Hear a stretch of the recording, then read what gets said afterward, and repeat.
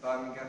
Uh, the name Taking Hayley comes from the Norse word Helia, and uh, Hayley in Norse uh, means heroes, and that means I live in obviously on heroes. Um, I'm Nick Akiri, aged 21. I'm Tom Paton, I'm 19, going on 13. I'm Jay Murphy and I'm 22. Now Mr. Kim, unfortunately can't be here, is uh, 21. What's your favourite thing about touring? Uh, spending time with mates. Um, it's just really nice. We don't get too much time outside of actual touring to actually spend good quality time together. Um, so, yeah, just spending time with, as mates, just going out and enjoying Yeah, ourselves and playing Like- some quality shows.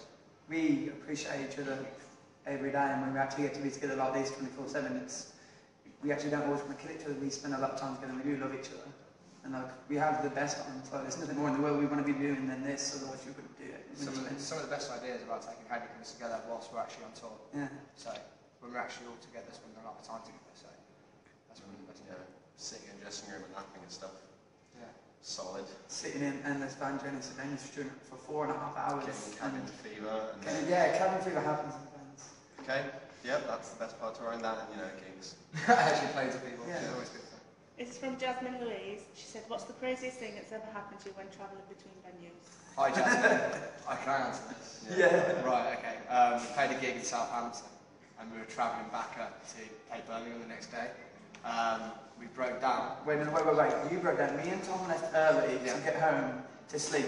And they We- were we like, stopped we'll stay a little bit longer to go for a curry. Yeah, we went for a curry. Uh, it was me, Andy, Alistair in, uh, in the, in, the van. people in the van, yeah. Yeah, and we had. And uh, it broke down on the side of the road uh, to the point where it was actually smoke out the front. We thought it was going to set on fire. And really quickly, in a matter of seconds, we loaded half the gear out of the van um, onto the side um, of the motorway. And uh, yeah, it's probably the word. That or last night, And then we what? based. And then how long did you have to wait until you got picked up? Like eight hours at a service station or something? Yeah, eight hours. We, me and Tom got to Tom's at like half two, and we were like, where are you guys? Like, oh, we're, we're broke down, we just had some venue, and we're like, oh, we're in bed, sorry. And then And had to sleep at the venue the next day. It was last night because our van's packed like Tetris. And my bass mm. sits on the top like, you know, like the icing on the cake. And so our, bre- we were mid-joke Laughing. Everything was laughing. It was We- we hilarious. So funny, and then suddenly break, bang! I get hit in the back of the head by a bass guitar.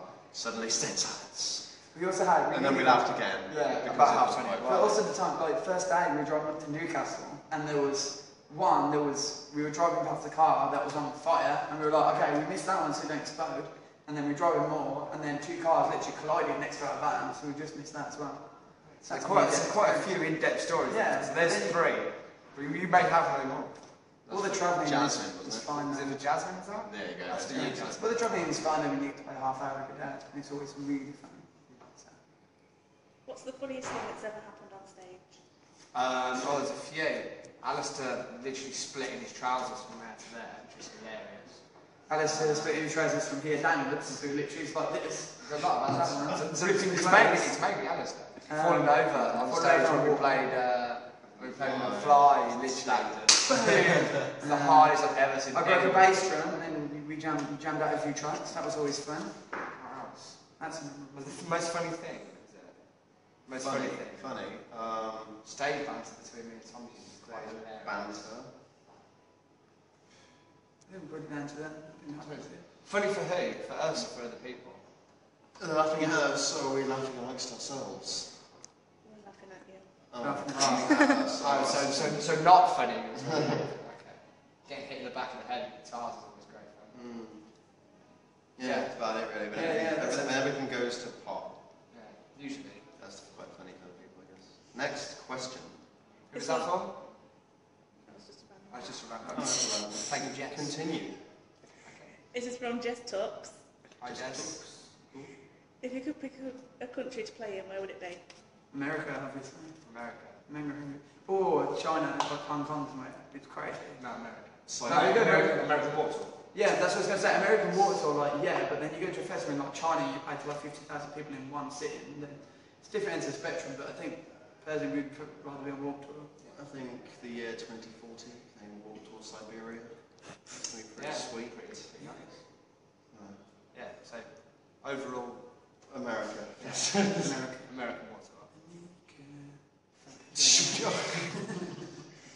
Frick, yeah. Um, next question. Laura Welch said, what is the weirdest thing you've ever had thrown on stage or given as a present? A As a head. present, as a present, um, it's the carrots. Remember that? First time I came up. We were going to take No, we played. I remember playing uh, Wolverhampton and we signed that in a carrot. No, we got given it as well. I did we? Yeah, Oh, yeah. okay. It stayed in our Um, merch box. for We all- have been given underwear 20 before minutes. with yellow underwear like sign and thing like take. I take got home. given a, It's not really fishy. I I got given a gen- genital warming device. Did. Actually, all I can say was a cheap sock with a wristband sewn onto it. I'm, I'm not putting that on my junk, to be honest. Yeah. Didn't fit, that's why. it just didn't fit, ladies. Didn't fit. Next question. Becca Cannon said, what's the weirdest thing you've signed? It's in a There you go. carrot. It's in a So carrot. in the carrots, There you go. a face. It was on a human head with them on stage. I always think it's weird when people ask me to sign about like their Converse and stuff. I don't, I don't get that. piece of paper or like a, something with my face on. Converse is weird because everyone just go, who the fuck is that guy? Why is he rubbing your name, his name on your shoes? Chuffing hell. Next question. Yeah, yeah, check. This is from Sophie Cars. So because I say My Sophie Cars, How does it feel when people sing the lyrics of your songs back to you? it's amazing. amazing. It's Best feeling the ever. best feeling you can get from a When you're on stage and it's like my main thing, like at the end of Here I Stand, Mm. when literally it's "Da-da," headphones out, hear it back, it's like It It is- shivers down my spine. It makes you quite proud. Like, Yeah. It makes everything that we do. Like, it's always quite hard work, um, regardless of how fun we make it look. Um, but it's, it's really hard work. You're away from home for a long period of time. Um, you can really grate on like getting into his nerves and stuff like that. So it makes it really, really worth it when you actually go out and people actually really respect and understand what you do. So that's probably the biggest and nicest feeling you can get, the most gratification. So yeah, it's, Yeah. it's, it's amazing. Sabrina Langford said, are there any bands that you look up to and that inspire you? we No, are the next question. um, um, I like so much random crap. It's, my iPod goes from Marmoset to McFly. And Lana Del Rey. Especially when you're in alphabetical, because then it literally goes. Um, and hi, Del Gay. Ray. Um, then we all, the- you know, the, the genre that we play, there's a really standard influences, Kissing like the Stars. Kissing the is All your Union. Six, that's all, these ones. But then at the same time, you know, with our, with, with, our, with our future writing, etc. I mean, Tricks and Games was, you know, it's, it's a start for us. It was our first release, and the influences clear to see on that. Obviously, we just all, all time very Kissing the Stars is Union Six. That sound really comes across, but with the diversity of our influences, that's really something that we're hoping to bring across in our future work. Yeah, it's like right now we've like if you compare it to like a product, it's like we've just made like Panda Pop, but with the next stuff we're going to be like Pepsi, Cola, Fanta, and Batango. So like if we're going to like increase to be the Yeah, next. like 30p to like at least a quid. Yeah, on Panda Pop we're going to be Pepsi. No, the, the, the, the thing that we're trying to get across with it is that the writing at the moment is definitely something that's very exciting for us. Yeah. Um, Chicks and Games, don't get wrong, is something we're very proud of. It's the first release for all of us, not only as Taking Hayley, but as individual musicians. So it's really exciting now to actually come into this new phase of Taking Hayley, which is starting to happen now with our writing. So you'll see a lot more different influences kind of come into play from everybody, um, and not just the, the obvious kind of stuff. So it's going to That's, be... that's the easiest way to Yeah. describe how we're going to do it. Having a different. Yeah, it's, it's really exciting. So That's watch, watch this watch this space. This one's from Matt Price. He said, what has been the highlight of your career as Taking Hayley? There's been so many, hasn't there? Um, We've had like the match live Birmingham had like that show was a big thing. it was, and so was Waterwell. actually. Yeah, that's what I mean. That's what I mean. So many like you know, I mean, Matt, McFly sold out Covey One, opening that Walk Tour to 500 people. that's what- slam dunk. that's MSI tour.